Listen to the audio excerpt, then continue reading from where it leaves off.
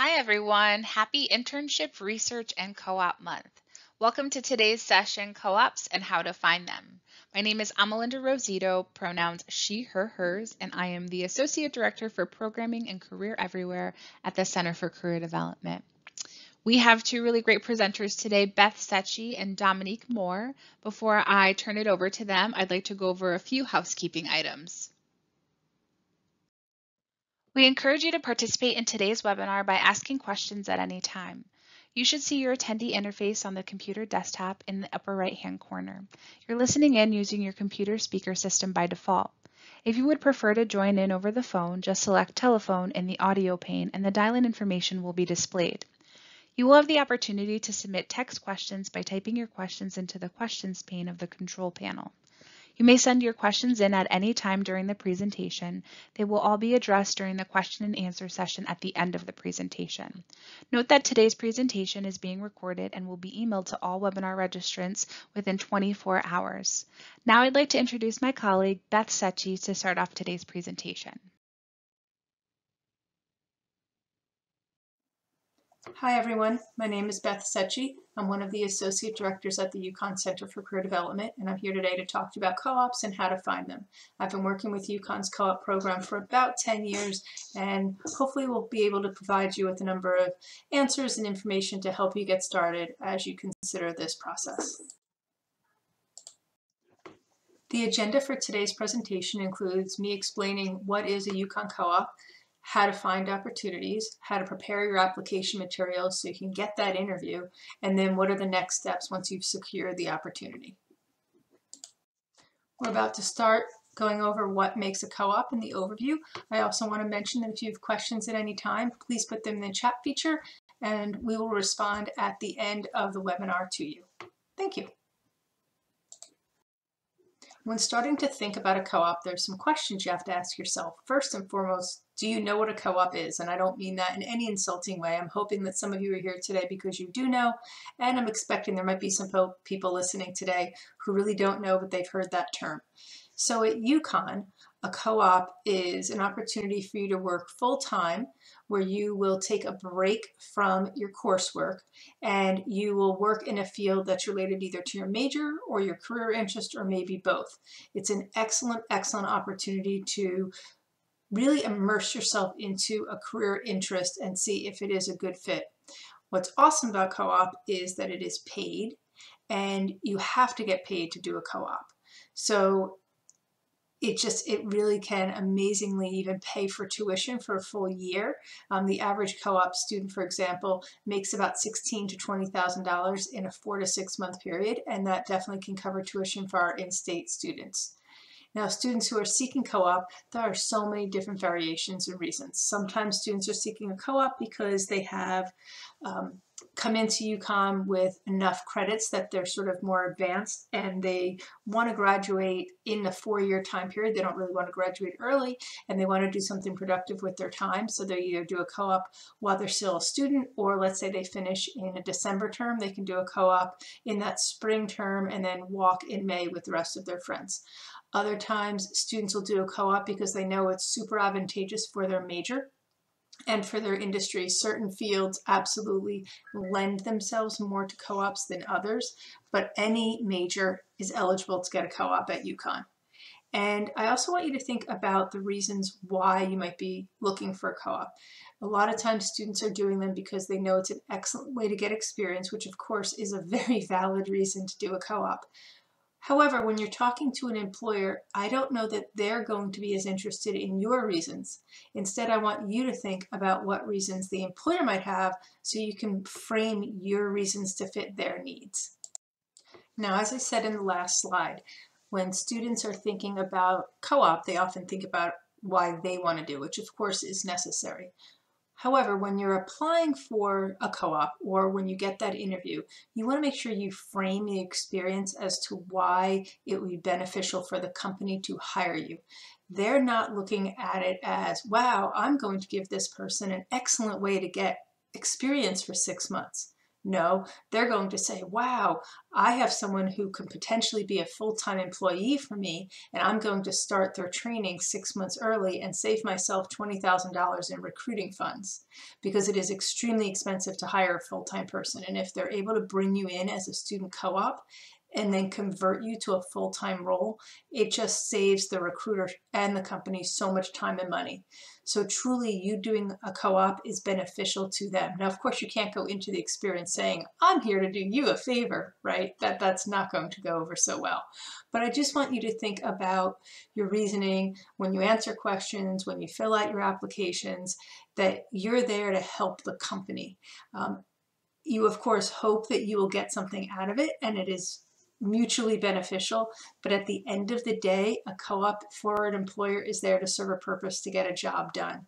Now, for smaller organizations versus the big corporate entities, they're a little bit more about let me see how I can help you grow and become um, a really good citizen and ideally help you develop the skills you need for a full-time opportunity because unfortunately they're not going to be able to convert you.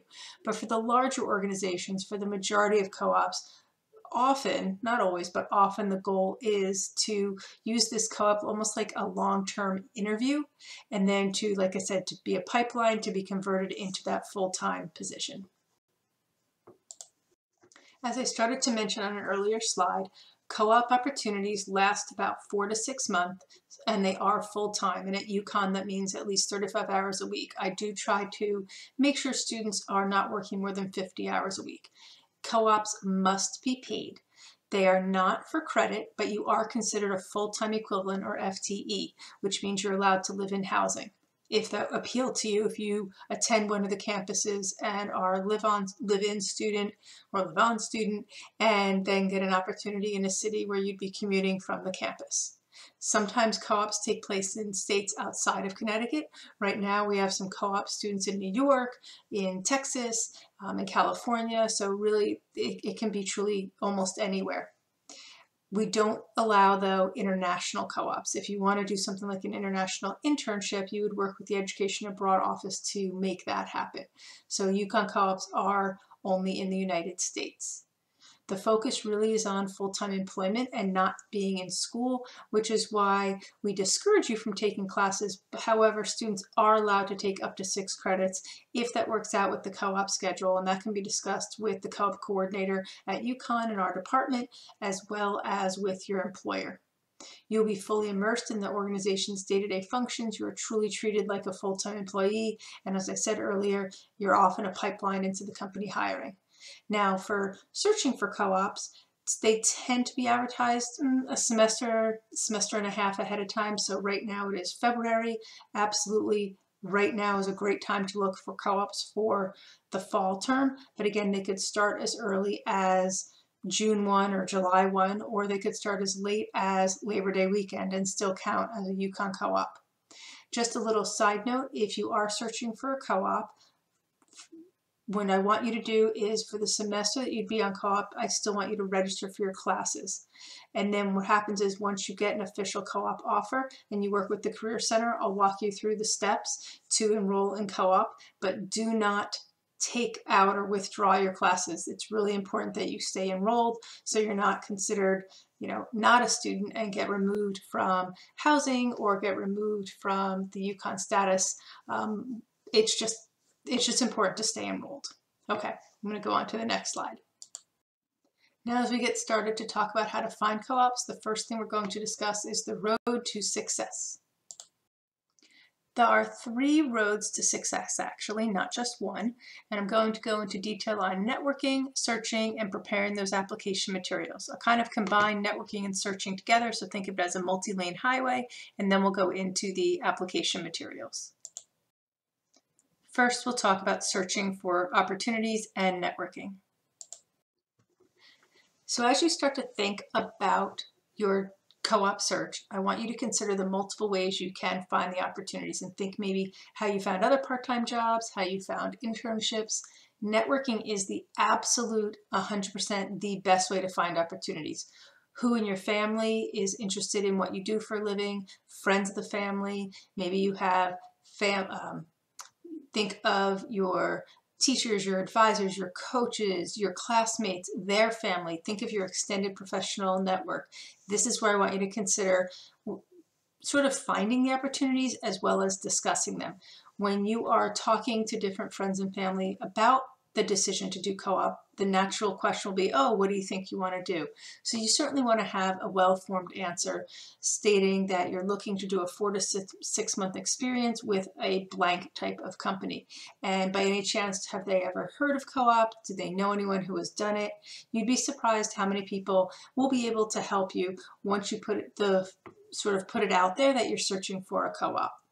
Networking does not need to be anything difficult or tricky. Sometimes the term networking kind of makes people a little nervous. Networking is just a conversation and it's just a way for people to help each other out and move ahead. Now, one of the best ways through networking to get an interview and potentially get hired is to be a referral. So if you happen to have any classmates that are already doing a co-op, and it doesn't even have to be at UConn, maybe you have friends at other schools that have done co-op. If that person refers you to their human resources and you get hired, they often will get a financial bonus and employers truly love it. And I don't use the word love lightly. Love it when existing staff refer someone to apply for a position because the person who works there now is putting their reputation on the line by recommending referring someone else. So remember we talked earlier about the financials? It also saves the company or can, can save the company quite a bit of money if they are able to interview and hire someone based on a referral versus having to go through a long process. Now, like I said, I think networking is the ultimate best way. However, sometimes it's a little scary or people feel like they're just not sure where to get started. So of course there are online search engines and company websites. Now through UConn we have the Handshake system, which I hope you're all familiar with, and this is where companies and organizations post co-ops and other opportunities. These are organizations that specifically are looking to hire from UConn because of our excellent reputation and the work that our students do. You can also attend virtual fairs and the internship and co-op fair, which did just happen. However, you can go and handshake to see who attended. So if you did not get the chance to go in person, well, virtually, right? You didn't get the chance to attend live, you can actually still reach back out to the employers, explain that you were unable to attend due to a class conflict or something like that, and you would like to follow up if there's an opportunity to do so.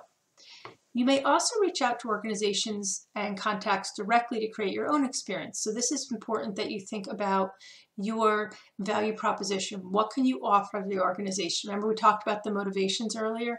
So you want to do some research on them to see why they would actually benefit by having you work with them.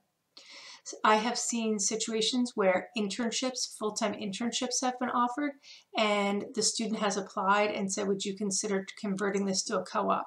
Now to an employer, some understand the term co-op and some don't. So if it's just a matter of semantics that they're hiring someone to be a paid full-time intern from August 1 through December 31, by all means know that you can apply for it and I, in the department, would still consider that a co-op, even if the company calls it a full-time internship. So don't get too hung up on the terms. I'd rather you look more about the opportunities. You could also look at entry-level positions at small companies and reach out to them and indicate, see if they're interested in working with you as a co-op student first, and then maybe they'd be willing to postpone the full-time hiring or they would just be able to consider you as a co-op even though it's a full-time job. And then for all you know you might get offered the full-time job after graduation. So just don't be um, hesitant to reach out and again reach out to us at the career center and we're happy to work with you to sort of figure out your unique circumstances and make you be the strongest candidate possible this image is just a picture of a co-op that's currently in the handshake system. As you can see, it's for summer 2021. And it has an, a note that says apply externally. So the position has passed already. The deadline was just a couple days ago, but that doesn't mean there's not more coming. And you can see on the left, some other ones are listed. So know you can definitely search for co-ops through Handshake, as I've said before. You can also look at internships and see if any of them might be able to be converted to a full-time co-op opportunity for yourself. In addition to Handshake and all the other, you know, um, search engines like Indeed, we also have information on mm-hmm. the career website using the link that's at the top, top of the slide and you can get to this right from the career.uconn page and then when you go who we serve, you can go to undergraduates, find an internship or co-op, and it will bring you to this page. Now, these three squares that you see are just the first three on the page, and you can learn more about co-ops when you click the Learn More About Co-op button. You can find some internships through some other resources that we have, and I'll show you on the next slides. And then we also have a guide that you're welcome to browse through just for tips and strategies on being successful in the search. Some of the strategies and resources on this page include the co-op guide, Handshake. Now I want to point out Going Global remember earlier I mentioned that our office does not work with international co-ops. However, Going Global also has information within the United States because we're part of, you know, the international realm. It's just from the US. We don't always think of it that way. So you might find some cool opportunities in Going Global. And then where it says common search engines, I'm going to take you to another slide to show you how we have broken that up. We are definitely revisiting this page and we do add some new information on a somewhat regular basis. Ultimately though, you want to reach out to the career coaches and you, we can talk to you about the different processes. I should have mentioned this earlier. If you are an engineering student looking to do any sort of work in an engineering firm or really just anything. If you're an engineering student, you would actually work with Dana Zeiter over in the engineering department. All other majors work with the Career Center. If you are an accounting student who is looking to do the accounting CPA type opportunity, you actually work with Erin Lee. But if you're an accounting student that found a great internship at um, a radio station and has nothing to do with accounting, then you would work with my office. So we do work together. So if you have any questions, you would just contact the Career Center and I will direct you as needed. This is the next page from that looking at national um, national websites as well as some industry-based ones. So this is just the top of the page where we have it broken up by different industries. So it says agriculture and environment, business, communication. The page continues with a few other categories, government, STEM, etc. And there are some excellent search engines here, very specific to different major, not majors, different industries. So I encourage you to look through here because you might find some, and it's a little bit better searching than going into the search engines, which can be really broad and overwhelming.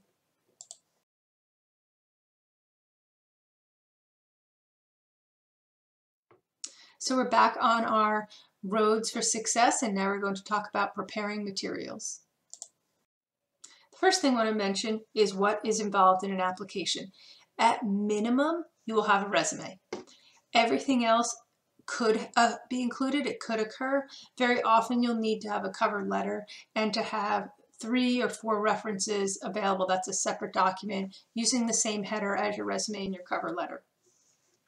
You may also be asked to provide writing samples, your transcript, a portfolio of your work, or something else that's needed for, um, for the opportunity. So you want to make sure you organize everything you need ahead of time, that you come into the Career Center and have a resume review, you have a cover letter review, just to make sure you're really on page. Now, one thing to think about as you start putting together your application material is that you need to tailor and individualize every single application because when you do that, you increase your chances exponentially of being selected for an interview. A generic resume that goes out to 30 companies and isn't unique to each skill set that's being requested by the employer will definitely make your resume go to the no pile. And we don't want that. We want your resume to go to the yes pile. So take your time, do your research on the different organizations. You'll narrow down who you're going to apply to, and then you'll work with us to really tailor the resume to fit. Now, if you're in one specific industry, your resume will probably pretty be fairly similar from organization to organization, but I'm going to show you in a moment how beneficial it is to tailor the opportunity and to increase your chances of getting selected for that interview. Here's an example of an opportunity that can be a co-op. Now this organization is pretty nice because they actually very clearly state what the requirements are, um, what's needed, you know, for the opportunity. They say when it's available. They indicate the person needs to do a writing sample. They give an email to apply to it, and they also have very specific questions. Talked about that yes and no pile. Quick way to go to the no pile is not follow directions. So be sure you read application materials truly carefully and follow the directions explicitly, answering questions that are offered, submitting materials the way the company wants them submitted so you can get chosen for the opportunity. Now I'm going to show you in a moment a sample resume that of someone who definitely I don't think would get an interview and one that has a better chance of getting an interview. And I want you to keep this opportunity in mind. What are the requirements that were needed? So the communication and interpersonal skills, speaking well, having computer skills, maybe some information about the type of opportunity they're seeking. If we look at the top, it says they'll gain experience and assist with different projects, media lists, press clippings, etc. So if I've done those things already, I want to make sure those are reflected on my resume as well. Here are two resumes that look different, but are for the same person, Jonathan Husky, and all the information is the same. So the person, Jonathan Husky, was a supervisor at Big Y, and which we see on the left at the top, and then on the other resume on letter B, it's towards the bottom. Now visually, depending on your preferences, you might like A over B or B over A. This isn't necessarily about the visuals as much as I want to show you the necessity of tailoring, which I'll show you on the next slide. Here we go. You can see how the boxes indicate some differences. So on the one on the left, Jonathan Husky, the work experience is first. Big Y supermarket. However, the person is not looking to apply for a retail position or a manager position. They're looking to apply to a public relations co-op. So therefore, as you see on the one on the right, public relations experience is listed first, instead of on the left where all the experiences are just straight chronological. Here, they're chronological by category. So public relations experience is much higher than the work experience at Big Y. Again, not minimizing the work at Big Y. If someone was applying to another retail chain or a project management or a personnel management position, we'd want that Big Y experience near the top. Another difference in Jonathan Husky B is the objective statement that speaks to those skills that were noted in the previous slides as priorities for the role. And some classes are included that match the type of work the person will be doing. In addition, we listed out their leadership experience because that's a special events chairperson, and that definitely fits in the world of marketing and PR. Whereas the one on the left, it's listed, but there's no bullet point. Finally, the computer skills at the bottom indicate ones that are necessary to do the job. Some social media is listed, anything that makes that candidate so much more valuable. Once you've applied for the opportunity, it's definitely appropriate to follow up once, wait a couple weeks, and then send out a note, an email to your contact if you have one. Do not say something like, am I being selected for an interview? Instead, you can ask, has my application been received? And can you share the timeline for the opportunity at this time? You will continue to keep applying even after you interview all the way up until you receive a formal offer in writing and you've accepted it. Once you've accepted in writing, you definitely cannot continue to search. That's called um, that's just inappropriate. And if you did that and then took a second opportunity and canceled on the first, it would be called reneging.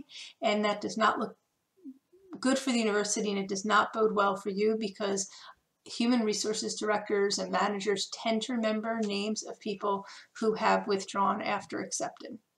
You want to make sure that your professional connections are up to date, that your LinkedIn profile is current. You'll use LinkedIn a lot for your networking, etc. So LinkedIn is just another excellent way to stay stay relevant and current. As you get ready to start, you'll evaluate your the company culture, you'll look at over your position description, just make sure you're really prepared for that first day on the role in the role at the job. And if you have any questions about how to prepare, once again, you can always reach out to the Career Center. Let's consider what your next steps are. Part of your next steps are staying organized. So it's key to use a chart like this, and though it's not exactly laid out the way you might want to lay it out, the information is all there. You just want to keep some sort of system where you can keep track of where you've applied, when you've applied, how you learned at the position, any follow-up um, information that's happened. So when you go back, you're really on top of things and it just truly will help you focus. Now, one tip I want to make is when you start creating your big list of companies to consider. You'll do some target companies. You'll think about them from your LinkedIn connections, from your personal connections, just from your own research. I'd like you to make this master spreadsheet of every organization, company, etc. that you're considering. Then you go through and find out, do they have any co-op opportunities at all? If so, what are the deadlines? Now, if they don't have any at the moment, or you've missed a deadline, but it's an organization that you're still interested in, keep them on your list. Maybe make a new tab or a new spreadsheet for future ones. Because at some point you'll be looking for a full-time job. And if the company caught your eye for a co-op, they might also be of interest for a full-time job. So that's why it's important when you first look at, at companies and collect all the information, you don't go straight to that co-op page. You kind of read a little bit of, you make the master list, you read a little about them to make sure you're interested in learning more, you, and then you can kind of see what opportunities they have. Now, additional with staying organized is when do you start searching for your co-op? And it really depends on your industry. The, those of you that are looking at big corporate organizations will find that you need to start anywhere from six months to even 15, 16 months ahead of time. I've seen opportunities advertised in May of one year that start in September of the following year, so 15 months away. If you're looking for small to mid-sized organizations, you probably can search about six to eight months ahead. Now, if all of a sudden it's June and you don't have one for the fall, do not distress. People unfortunately change their minds and back out, so opportunities get reposted. Or on the positive side, sometimes there's a brand new project that comes up last minute and the company says, oh my gosh, we need a co-op. We need to advertise right now. So there are better times to look for co-ops, but there's really no bad time to look for a co-op. Some other next steps would include, as I've mentioned before, meeting with a member of the career staff. Now, if you just want to talk about the, the search a little bit more and how to get started, you can meet with any of our career coaches using the links. If you already found a co-op and you want to talk about the co-op process and what does it mean for you personally for the next semester, email the co-op staff at careercoop at uconn.edu and either I'll answer or the grad student that works with me will answer and we're happy to talk to you about the steps that are needed. Definitely always encourage you to get your documents critiqued. You know, of course I'm going to encourage you to come to the Career Center, but at the end of the day, you just want to make sure that someone else has looked over your documents before you send them out, just in case you had a typo or a spacing error or anything like that. We don't want that information to go out unless it's 100% accurate.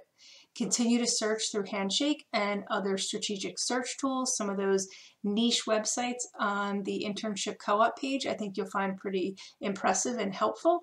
And just continue to talk to people about what you want to do. When you put it out there that you're looking to do a co-op and you say it enough to enough people, someone is definitely going to respond back.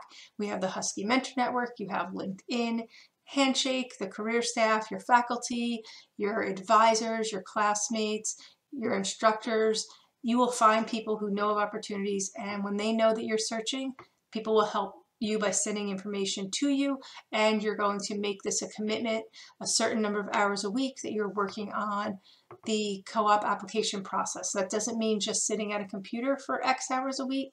That means talking about it, doing those networking, having conversations with mentors, etc. You want to do everything you can to be really proactive and make this a, a conscious decision to do a co-op search.